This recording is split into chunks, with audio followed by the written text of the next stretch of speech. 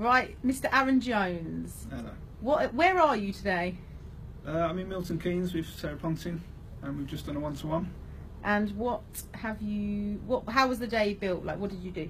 Uh, to be honest, it's really constructive. We've gone over everything from uh, just the general pitches to uh, breaking down uh, the actual deals and basically really working on how to get through to the landlords and the agents alike.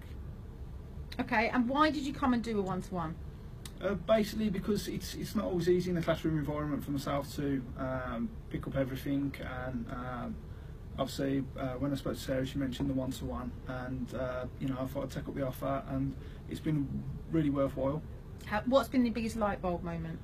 Uh, just the fact that we've done some actual uh, live calls and uh, basically where I was struggling on my own, uh, basically with the help and guidance of Sarah, we've actually got on, um, and every phone call we've made, we've actually got a, a yes straight away From agents. from agents. Um, basically, uh, even agents I've, I think I've previously spoken to. So agents you've previously spoken to, you've called with a different script, Yeah, and you've got viewings. yes. Amazing.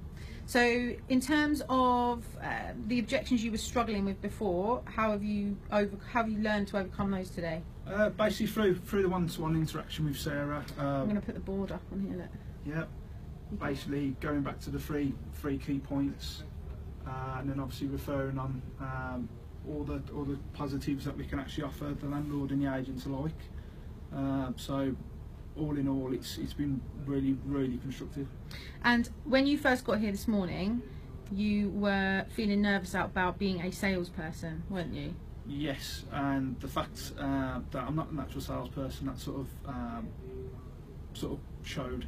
Uh, and then when I realised it's more about being a people person and just being yourself with people, uh, and being being honest. I mean, we're not there to try and deceive anybody. We're there to try and make solutions. Yep. And once that was made made sort of clear to myself in my own head, uh, it's sort of altered my mindset. So yeah, it's been been fantastic.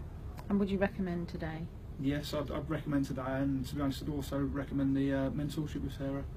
Fantastic. Thank you very much for your time. I appreciate you doing this video as well. Thank you very much. See ya.